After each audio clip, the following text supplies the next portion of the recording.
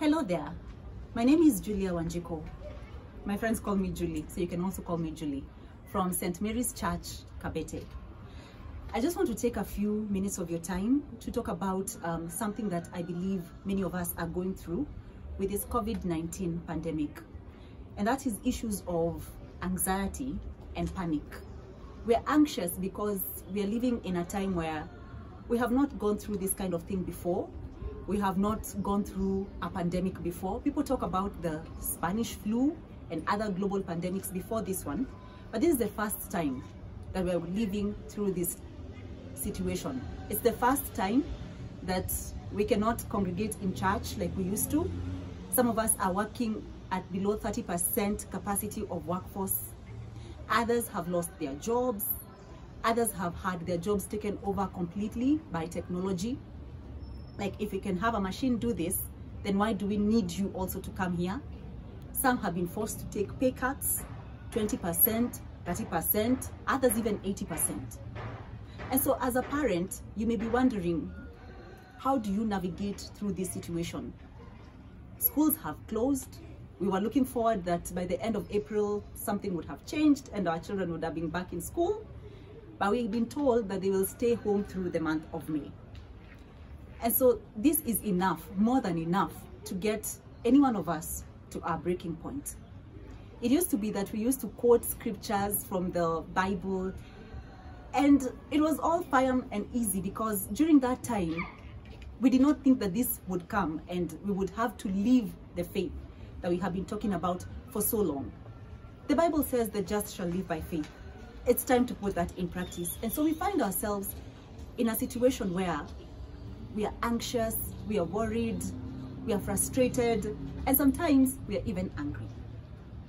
I just want to share with you my personal experience because that may may help you or maybe you may even relate with what um, I'm going through or maybe what you are going through.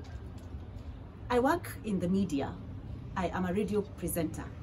So we are one of those uh, professions that President Uhuru Kenyatta said we provide essential services.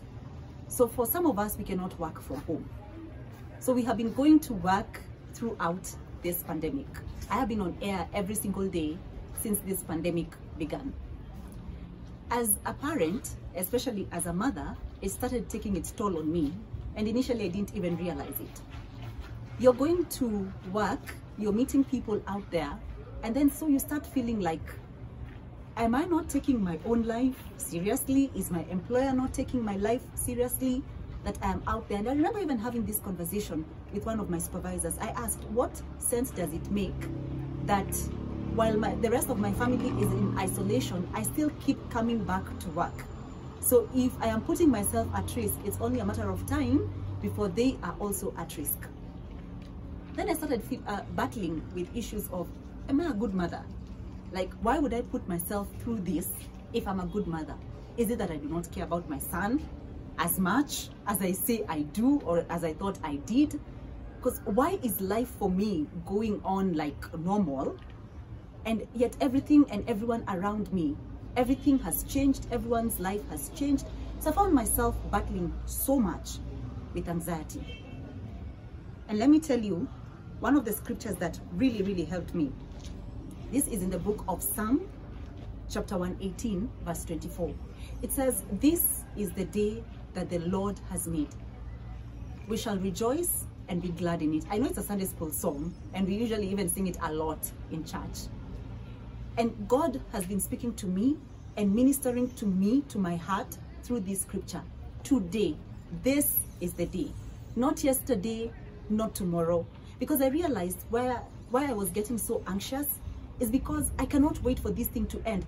We like to control things. We like to know this is when it started, this is how long it will last, this is when we will come out of this pandemic. So for me, not knowing and for many people out there not knowing when this will end and what impact the level of impact it will have in our lives has been very nerve-wracking so god has been speaking to me through this scripture psalm 118 verse 24 this is the day that the lord has made. I'd just like to share that scripture with you that not yesterday not tomorrow. I don't have the answers. Even the scientists don't have the answers as to when this thing will end.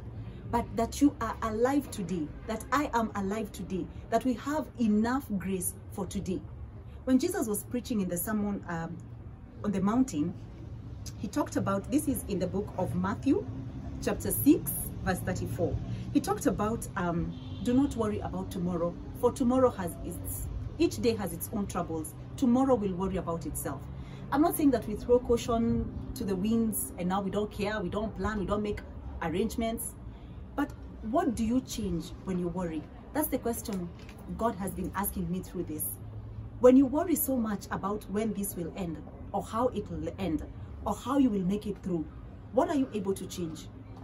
Through worry, can you turn a single black hair white? Can you turn a white hair black because you're worrying? See, this is the thing. Anxiety and worry looks around. Regret looks behind. But faith, that looks up. So maybe this is the time where, in the book of Psalm 121, I lift my eyes to the hill. Where are you putting your eyes? Where is your focus even through this?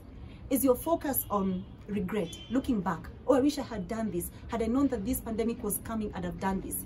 Is your focus on the things around you? Because when you focus on what, what is happening around you, like the number of confirmed cases and the number of deaths around us, that's, that's enough to send you into a frenzy.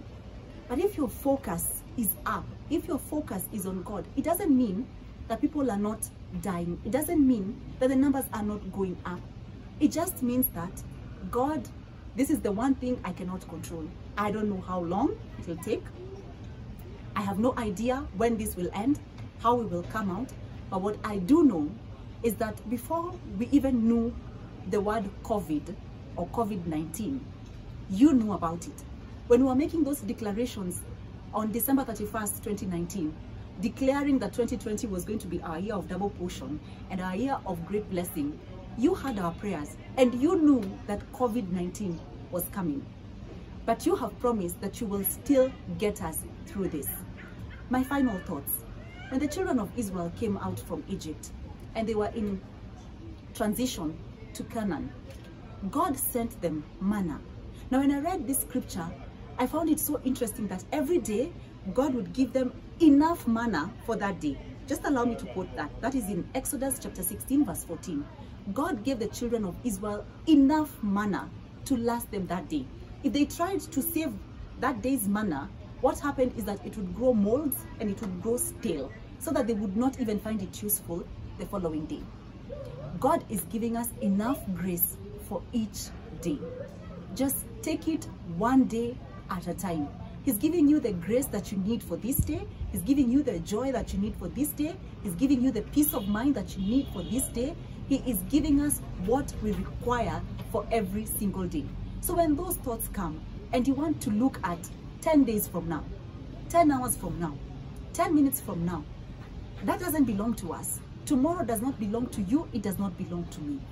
What we have right now, that is what we ought to be grateful for.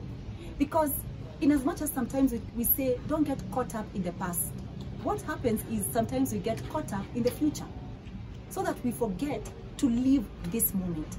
So if you forget everything else, please remember this, that just as God provided manna, enough for each day for the children of Israel, He's providing us with enough grace, enough joy, enough peace of mind, enough hope for this day. And at the end of the day, what I do, what I've learned to do, is thank Him for that grace. And the following morning, I ask Him, give me enough grace for this day.